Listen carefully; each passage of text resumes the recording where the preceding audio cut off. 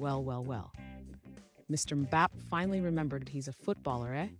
The guy who could probably run a marathon in the time it takes us to find the TV remote. He scored his first La Liga goals. About time, Kylian. We were starting to consider a search party. Real Madrid versus Betis was like watching a lion play with its food. And then that lion remembered it was starving and chowed down hard.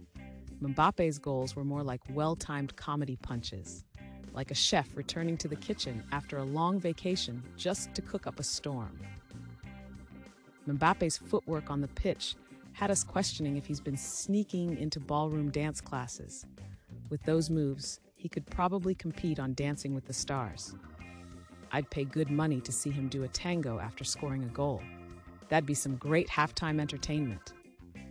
On the bright side, Betis now knows what it feels like to be a middle school student in a dodgeball game against the local high school champs. Imagine being Betis's goalkeeper, seeing Mbappe charging at you. I'd just make sure my health insurance is up to date.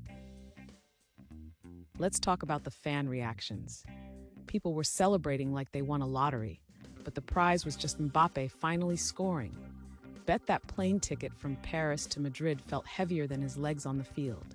But oh boy, when those legs got going, it was worth every euro cent. You know the match was good when even the commentators had to pause for a second to regain their composure.